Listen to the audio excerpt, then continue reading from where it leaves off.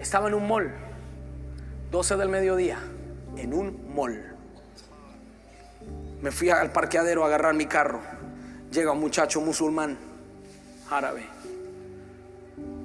Saca de su maleta a las 12 una manta en el parqueadero. Hace así. En un lugar público.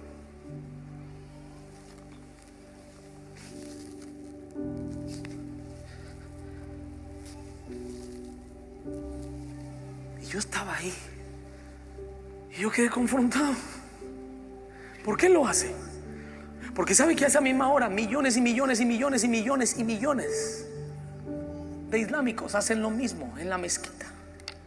Hay un hermano de nosotros, fue a firmar un negocio con un árabe a las 12 del mediodía. Un negocio, firmar un negocio de dinero, money, cash. Vengo a buscar a fulano de tal. Le cerraron la puerta en la cara. Ahorita él no puede, está orando. ¿Y los cristianos? ¿Mm? Y nosotros no somos capaces de levantarnos 15 minutos antes para buscar a Dios. No somos capaces de tomar un teléfono, el devocional, cinco y media de la mañana, para escuchar la palabra de Dios y conectarnos con el cielo. No somos capaces de abrir la palabra, no somos capaces ni de arrodillarnos. Venimos a la iglesia y queremos que Dios nos dé lo que nosotros queremos. Pero no queremos darle a Dios lo que Él está pidiendo de nosotros. Basta ya, iglesia. Seamos cristianos genuinos con devoción a Dios en la mañana, en la tarde, en la noche, en enero, en febrero, en marzo, en agosto, en todos los meses del año. ¿Por qué tenemos que ser avergonzados con otros que no tienen a Cristo? Mahama Gandhi dijo, los cristianos tienen un gran Cristo, pero tienen muy pequeños cristianos. Ojalá yo tuviera el Cristo que tienen los cristianos. ¿Sabes por qué hay muchas cosas en tu vida que no han funcionado? Porque te ha faltado devoción al que la merece.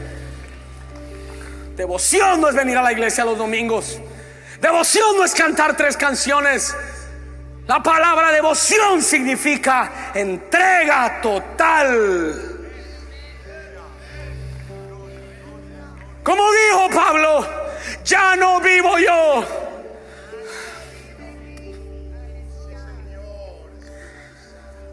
Ahí estamos vivos todavía, hermano. Yo me meto ahí, estamos vivos todavía. Jesús Déjame decirte, ya termino con esto y perdóname hermano que, que, predique así, pero siento el fuego en mi lengua en esta tarde. Déjame te digo esto. Déjame te digo esto.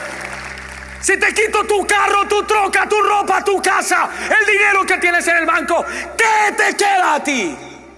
Dime quién eres tú. Muéstrame lo que tienes por dentro si te quedas sin lo que tienes por fuera.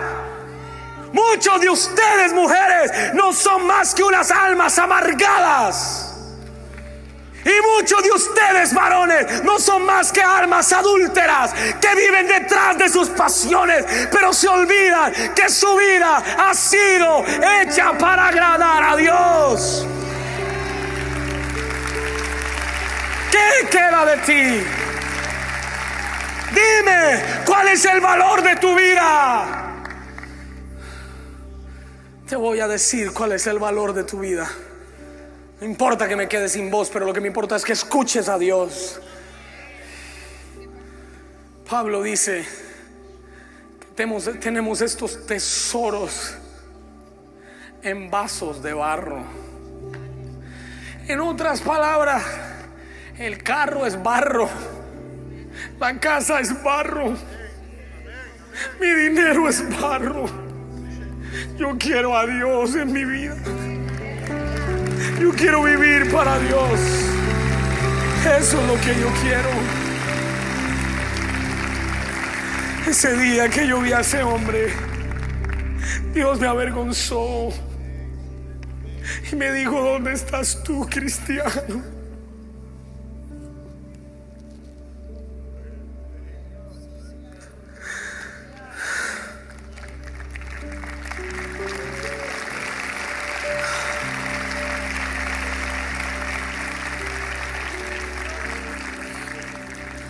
¿Dónde está tu entrega? En medio de una nación que se está perdiendo, donde los hijos nuestros andan solos, donde los muchachos ya no tienen identidad,